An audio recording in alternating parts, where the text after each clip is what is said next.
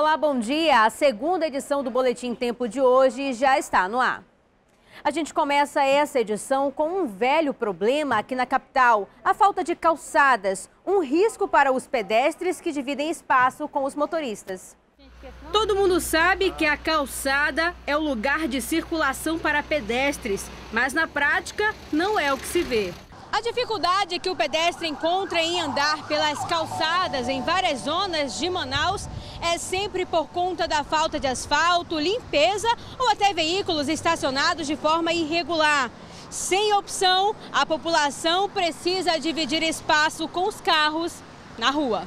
Adulto, crianças e até idosos ficam expostos aos riscos e as reclamações sobram. A gente não tem espaço para passar nas principais avenidas só é carro estacionado. A gente passa para cá e vai para lá, e vai para lá, e o tempo é carro. Às vezes passa no meio da rua assim, né? um tempo deu outro carro lhe bater. Ah, correu risco alguma vez de ser atropelado? Já, já dei de peitada assim com um parceiro, ele vindo de lá, eu daqui, se encontremos, empurrou, ele me empurrou. Porque não tem espaço? Porque não tem espaço.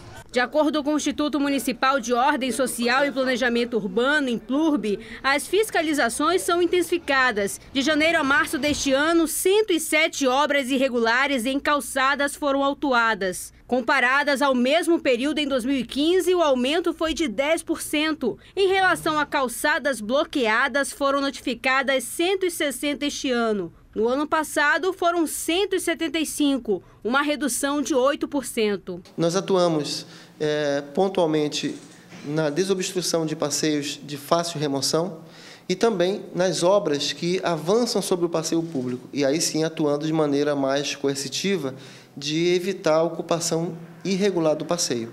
O Manaus Trans também ajuda nas fiscalizações. Segundo eles, os lugares com o maior número de irregularidades são próximos a centros comerciais. Mais de 17 mil veículos estacionados em passeio foram multados só no ano passado. Quando a gente percebe a irregularidade, a gente tem que proceder com a autuação e, se houver necessidade, nós faremos a remoção dos veículos. Na Grande Circular, no São José, zona leste de Manaus, é exemplo disso.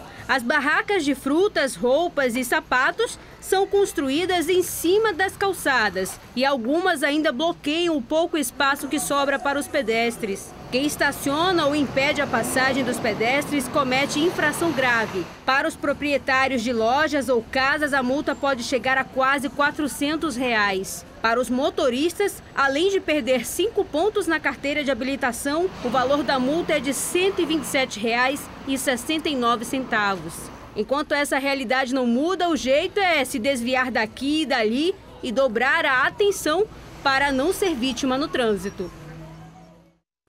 E desde ontem está suspensa por um ano a obrigatoriedade do exame toxicológico para quem vai tirar a carteira de habilitação das categorias C, D e E. Os motivos são a falta de estrutura dos laboratórios para realizar os exames e o alto custo. O valor pode chegar até 600 reais. O Amazonas é o sétimo estado a conseguir a suspensão. Desde março, a direção do Detran fez a solicitação. Os principais argumentos são a falta de infraestrutura para realizar esse tipo de exame. Apenas três laboratórios são credenciados. Além disso, há também a questão do alto custo para fazer o procedimento. Aqui na cidade de Manaus é feita apenas a coleta do material. Daqui esse material é enviado para São Paulo e de São Paulo vai para os Estados Unidos. Então, no mínimo, isso aí seria 60 a 90 dias. A decisão serve tanto para quem vai renovar o documento ou tirar pela primeira vez. As categorias C, D e E são de motoristas que trabalham em ônibus ou em caminhões com carga pesada e alguns não tinham condições de arcar com os valores. A juíza federal suspendeu a obrigatoriedade do exame toxicológico por um ano, até o Departamento Nacional de Trânsito oferecer uma estrutura adequada. Que se dentro desse período o Denatran não se adequar credenciando laboratórios em todos os municípios do estado do Amazonas, dando mais celeridade para a realização dos exames e a questão do preço também, que esse prazo poderá ser prorrogado. Cerca de 5 mil motoristas já foram até o Detran para solicitar informações sobre o documento. Caso o departamento não cumpra a decisão da juíza, haverá multa diária de mil reais. Até aí tudo bem.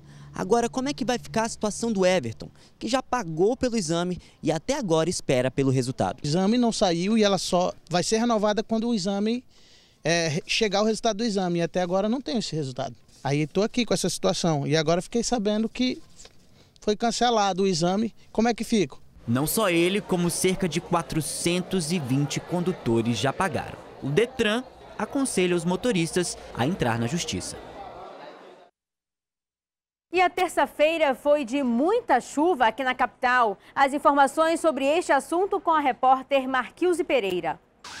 Olá, pois é, a gente está na zona centro-sul da capital, uma área que não foi tão atingida pela chuva. A maioria das ocorrências registradas pela Defesa Civil se concentrou nas zonas norte e leste da capital. Mas é claro que em toda a cidade, pontos de congestionamento foram registrados. Quem saiu de casa de carro ou de ônibus precisou ter muita paciência.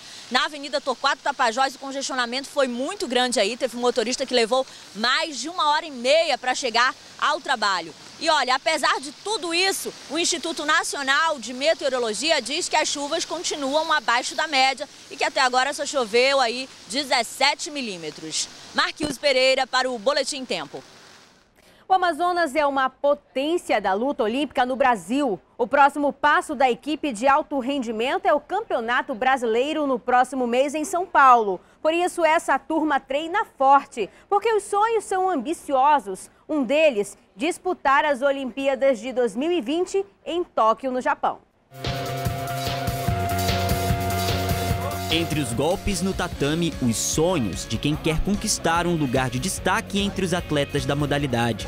Christian é de Itacoatiara e depois de lutar jiu-jitsu por lá, ele viu a oportunidade de morar aqui na Vila Olímpica. Tem uma base bastante da Auto Olímpica, a questão da, da, é, da base, né? É, também tem a questão de queda, tem tudo isso, tem bastante coisa, mas principalmente com o judô também, tem bastante coisa do judô. É uma mistura de, de, de, um, de uns esportes que é bem, é bem legal. O jovem já ganhou muita medalha na categoria cadete e júnior, assim como Thalia. Não se engane com essa carinha doce. A parintinense é uma das atletas de destaque na luta olímpica. Agora, ela e mais 14 lutadores vão até São Paulo para disputar o brasileiro. Fui na Bulgária, Turquia e Romênia e de lá vieram vários títulos, graças a Deus hoje estou aqui, terceiro lugar Pan-Americano 2013, 2015 de novo também, terceiro lugar e hoje vamos, vamos buscar em primeiro lugar. Já todo dia batendo na trave, não quero mais, vamos baixar para 4,8 para ver se consegue medalha de ouro. Wilson também vai viajar, é a primeira vez dele. Com um treinamento intenso, ele está confiante tenho uma expectativa que eu vou sair campeão, se Deus quiser, desse brasileiro. Porque aqui em Manaus aqui eu já, já enfrentei várias barreiras, então eu ganhei aqui. Aqui foi a, a maior competição, a maior guerra foi aqui. Então eu bati aqui a guerra, eu ganhei aqui, lá fora é brincadeira. Você sabia que, de acordo com a Secretaria de Juventude, Esporte e Lazer, o Amazonas está no terceiro lugar do ranking brasileiro de atletas de alto rendimento aqui na luta olímpica? A gente só perde para o Rio de Janeiro e para São Paulo. Em oito anos de grupo foram cerca de 200 medalhas. E o segredo de tudo isso é um trabalho de base. Acho que não só de hoje, mas de, de uns 5, 6, 7 anos atrás, ele já treinava quando eu era pequeno, então essa é a proporção que se tomou né, quando a gente faz um trabalho de base, planta uma semente. Há três anos, o grupo conta com o treinador cubano Dagoberto Arbolais. Para ele, só há um jeito de vencer. É a única forma que tem os atletas para ganhar e lograr seu sonho, é trabalhar, trabalhar e trabalhar. E é muito trabalho, viu? É um corre para cá e para lá, para cima e para baixo, técnica na hora de realizar os golpes, tudo aos olhos atentos dos treinadores. A turma faz isso toda semana e ainda quer mais. A meta é estar em 2020 nas Olimpíadas. A segunda edição do Boletim Tempo Manhã termina aqui. Até a próxima!